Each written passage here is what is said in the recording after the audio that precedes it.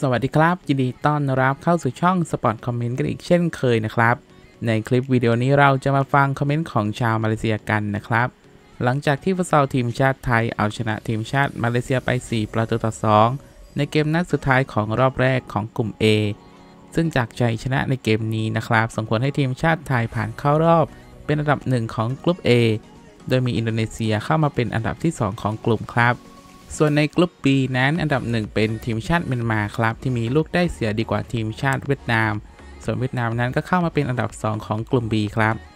และในรอบรองชนะเลิศนั้นทีมชาติไทยก็จะไปพบกับทีมชาติเวียดนามครับ ก็ต้องตามลุ้นตามเชียร์ทีมชาติไทยของเรากันต่อไปครับ ในฟุตซอลชิงแชมป์อาเซียนครั้งนี้ ส่วนคอมเมนต์ของชาวมาเลเซียนั้นจะเป็นอย่างไรกันบ้าง หลังที่พวกเขาตกรอบในครั้งนี้ ไปรับชมรับฟังกันได้เลยครับ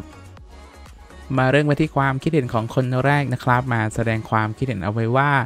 ประตูที่ 3 ของไทยนั้นเห็นได้ชัดมากความผิดพลาดของผู้รักษาประตูมาเลเซีย หวังว่ามันจะเป็นบทเรียนให้แก่เขา ความคิดเห็นของคนต่อมาครับบอกว่า นอกจากอดอาหารแล้วเราจะเป็นต้องอดทน ฟุตซอลต้องอดทน อย่าเพิ่งรีบร้อนจนเกิดความผิดพลาด ความคิดเห็นของคนต่อมานะครับ ครึ่งแรกสามารถสร้างสมดุลของไทยได้ ครึ่งหลังนำ2ประตูต่อหนึ่งแต่มันก็เป็นความผิดพลาดเช่นกัน Power Play คือจุดอ่อนของมาเลเซียต้องแก้ไขมัน ความคิดเห็นของคนต่อมาครับ เกมรับยังไม่แข็งแกร่งเพียงพอ รวมถึงสภาพจิตใจที่ไม่นิ่งของผู้เล่นมาเลเซีย ความพ่ายแพ้ครั้งนี้มันไม่ได้น่าอายอะไร แค่เพียงเสียดายที่รักษาสกอร์ช่วงที่เราขึ้นนำเอาไว้ไม่ได้ ความคิดเห็นของคนต่อมานะครับมาบอกว่า อยากจะเล่น power play แต่ยังขาดความคิดสร้างสรรค์ในเกม และเมื่อถูกดักบอลได้มันก็รั่วไหล ได้โปรดไปฝึกกันใหม่อีกครั้ง แล้วก็ได้มีคอมเมนต์มาตอบกลับว่า ไม่กล้าที่จะยิง และเลี้ยงบอลแบบไร้จุดหมาย ความคิดเห็นของคนต่อมาครับ ความจริงที่เห็นได้ก็คือ ความสามารถที่เทียบไม่ได้กับทีมไทย ความคิดเห็นถัดมาครับ ผิดพลาดเยอะกรรมการก็ลำเอียง ความคิดเห็นของคนต่อมาครับ เศร้าที่ได้เห็นจิตใจแตกสลายอย่างรวดเร็ว ความคิดเห็นของคนต่อมาครับมาบอกว่า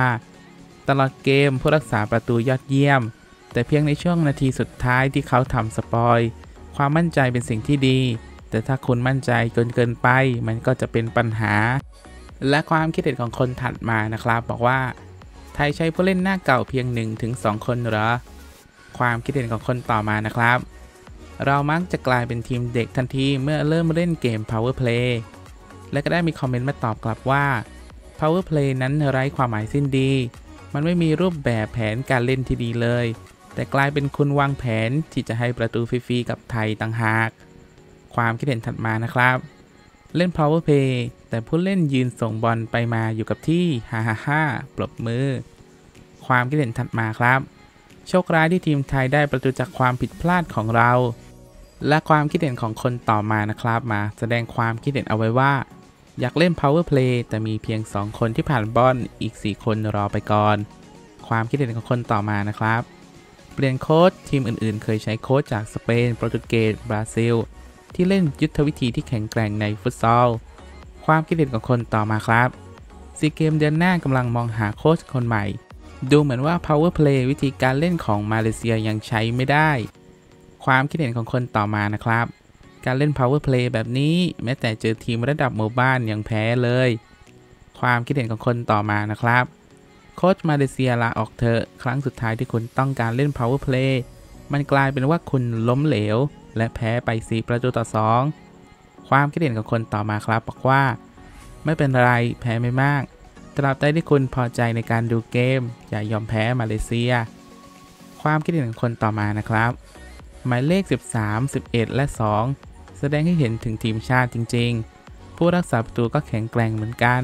ไม่เป็นไรกลับมาแข็งแกร่งขึ้น ความคิดเห็นของคนต่อมานะครับ มาคอมเมนต์เอาไว้ว่า เราไม่ได้พลาดอะไรมากมาย เพราะเรารู้ระดับผู้เล่นที่แข็งแกร่งแค่ลีกท้องถิ่นเท่านั้น ยังห่างในระดับอาเซียน และเรายังมีโค้ชที่ไม่รู้เรื่องอะไรเลย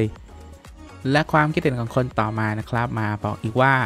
เราไม่จำเป็นที่จะต้องใช้ power play ก็ได้ เพราะในนัดที่แพ้อินโดนีเซียก็เพราะ power play ที่เป็นเหตุทำไมถึงไม่เรียนรู้จากมัน ความคิดเห็นของคนต่อมานะครับ เรายังไม่พร้อมที่จะชนะ และก็มีคอมเมนต์มาตอบกลับว่า ถึงจะแพ้แต่เกมก็ดูดีนะ ความคิดเห็นของคนต่อมาครับ ประตูที่ 3 และ 4 ของไทยน่าเศร้ามาก ไม่เป็นไร สามารถพยายามให้ดีกว่านี้ในครั้งต่อไป ความคิดเห็นของคนต่อมาครับ จากความพ่ายแพ้ 2 ครั้งสุดท้าย แค่ความผิดพลาดเล็กน้อยในนาทีสุดท้าย ฉันเดาว่า power play ไม่สำคัญขนาดนั้น และความคิดเห็นสุดท้ายในคลิปวิดีโอนี้นะครับมาคอมเมนต์เอาไว้ว่า เครื่องเกมแรกนั้นฉันได้แต่สรรเสริญ แต่ครึ่งหลังฉันต้องมานั่งสวดภาวนาแทน และนี่ก็คือคอมเมนต์ของแฟนๆฟุตซอลชาวมาเลเซียเพียงบางส่วนเท่านั้นนะครับที่ได้เข้ามาแสดงความคิดเห็นกันเอาไว้หลังจบเกมนี้ เพื่อนๆฟังแล้วคิดเห็นอย่างไรกันบ้างก็สามารถคอมเมนต์กันเข้ามาได้เลยนะครับ และถ้าชอบคลิปนี้ก็อย่าลืมกดไลค์กดแชร์กดติดตามและแจ้งเตือนเพื่อเป็นกำลังใจกับช่อง Spot Comment ด้วยนะครับสำหรับคลิปนี้ก็ขอตัวลาไปก่อนสวัสดีครับ